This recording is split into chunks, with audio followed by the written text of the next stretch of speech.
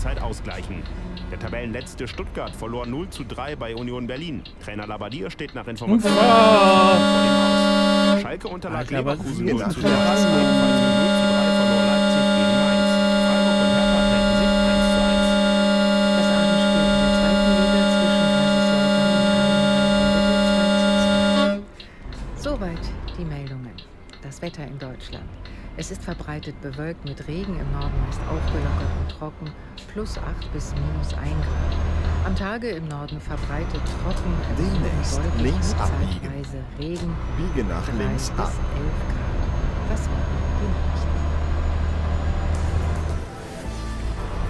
Der Verkehrsservice Biege nach der rechts ab. ARD Infonacht. Zuerst mit einer Unwetterwarnung. Links halten und dann links abbiegen.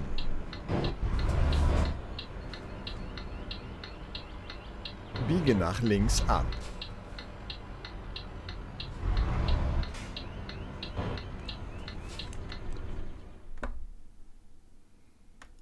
oberhalb von 1000 Metern mit orkanartigen Böen. Und noch eine Unwetterwarnung. Für den Großteil des Bergischen Landes, des Sauerlandes und einzelne Teile Westfalens wird heute ergiebiger Dauerregen erwartet. In der Folge kann es zu Hochwasser an Bächen und kleineren Flüssen sowie Überflutungen von Straßen kommen. Und jetzt der Blick auf die Straßen. Die A5 Basel Richtung Karlsruhe ist zwischen Bühl und Baden-Baden wegen Bergungsarbeiten gesperrt. Die A8 Luxemburg Richtung Saarlouis ist zwischen Perlborg und Rastplatz Weiler wegen Bergungsarbeiten gesperrt. Die A57 Köln Richtung Krefeld ist zwischen Kreuz-Meerbusch und Krefeld-Opprum wegen Bauarbeiten bis Montagmorgen um 5 Uhr gesperrt. Und die B305 Reit im Winkel Berchtesgaden ist zwischen Reit im Winkel und Ruhpolding wegen einer Krötenwanderung bis ca. 6 Uhr in Bitte beiden Richtungen gesperrt. Fahren Sie vorsichtig und kommen Sie gut an.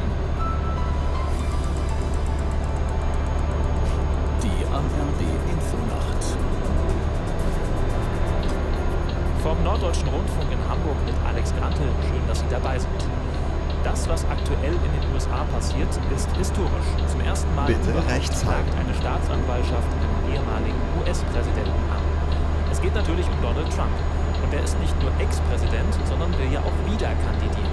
Bei der Anklage geht es um einen Vorwurf aus dem Wahlkampf 2016.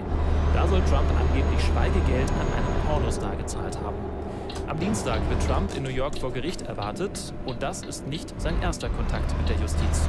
Unsere Korrespondentin Katrin Brandt blickt auf Trumps Skandale zurück. Donald Trump hat das Geheimnis seines Erfolges einmal so zusammengefasst. I could stand in the middle of Fifth Avenue and shoot somebody and I wouldn't lose any voters, okay? It's like incredible. Er könnte mitten auf der Fifth Avenue stehen und jemanden erschießen und er würde keine Wähler verlieren. Unglaublich, sagte er im Vorwahlkampf 2016. Ob das wirklich so ist, weiß man nicht. Dass aber seine allertreuesten Anhänger sich niemals abwenden werden, ist klar. Viele andere hat er im Laufe der Jahre vor den Kopf gestoßen, aber nicht vergrault.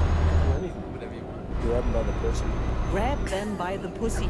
Pack sie an der Muschi war etwas, das vor allem abstieß. Auf einem Mitschnitt aus dem Jahr 2005 zieht Trump übel über Frauen her und prahlt mit sexueller Aggressivität. Wenn du ein Star bist, lassen sie dich alles machen.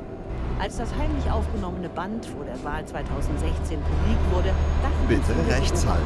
Das war's für Trump. Nein, das war es nicht. Somebody said, "Do you think he was born in this country?"